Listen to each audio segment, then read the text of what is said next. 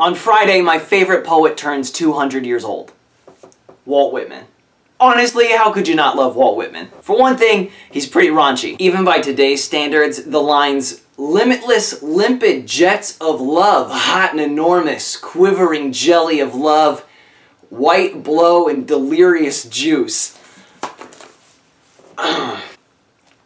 Almost too descriptive. Though Durex should totally be using the term quivering jelly to refer to the thing that its product catches? Though who wouldn't be raunchy when you look like this? Hi there, Walt.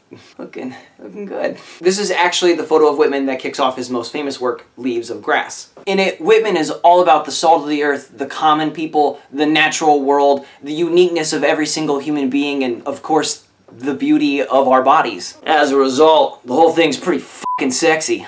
And so even when old, Whitman could get it. Hot literature rumor has it that famed English writer Oscar Wilde once traveled to America and, uh, sang Whitman's body electric. Like, to be clear here, Oscar Wilde would have looked like this, and Walt Whitman would have looked like this.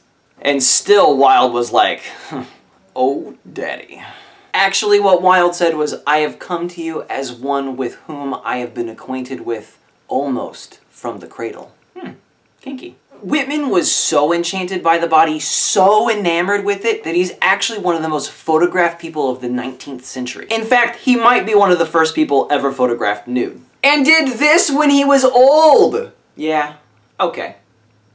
I get it, Oscar Wilde. But really why I love Walt Whitman is his earnest belief in democracy and his love for America and all that it still strives to be. The story goes like this. In 1844, Ralph Waldo Emerson publishes The Poet in his second series of essays. In this essay, Emerson calls for a uniquely American poet, one who knew, quote, the value of our incomparable materials. Ten years later, a 35-year-old Walt Whitman reads this essay. One year later, in 1855, Leaves of Grass first hits the shelves. It is raw, explicitly abolitionist, very gay, and unlike anything the world has seen up until this point. It sells very poorly. Whitman, who paid for the publication of this first edition by himself, then writes three anonymous and extremely positive reviews of Leaves of Grass in an attempt to drum up sales. This works. It sells better. Emerson and the other transcendentalists love it. Love it! It gets a second printing with some additions. It gets a third and a fourth for a grand total of eventually nine editions. This slim volume of just 12 poems eventually swells from looking like this to something like this. Somewhere in there, Civil War breaks out. Walt Whitman travels to Washington, D.C. and spends two years in Army hospitals taking care of wounded and dying soldiers. These hospitals would have had the old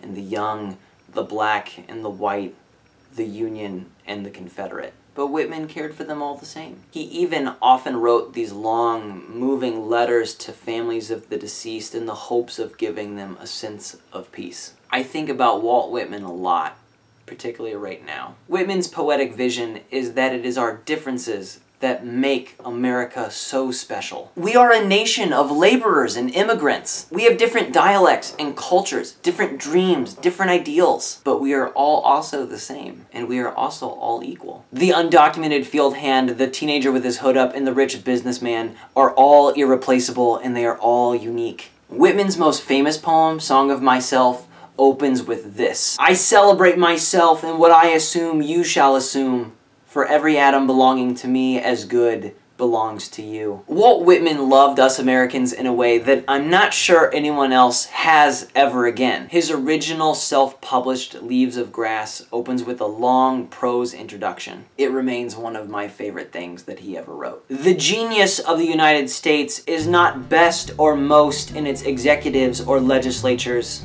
nor in its ambassadors or authors or colleges or churches or parlors, nor even in its newspapers or inventors, but always most in the common people.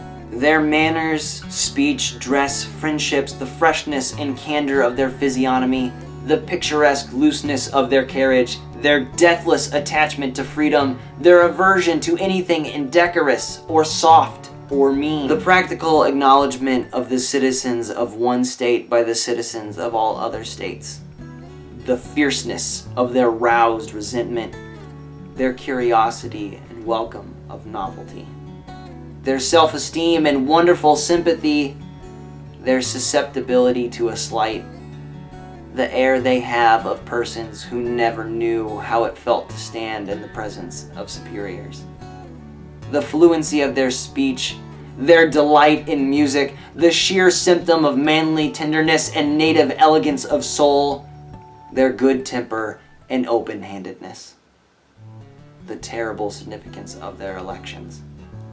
The president's taking off of his hat to them, not they to him.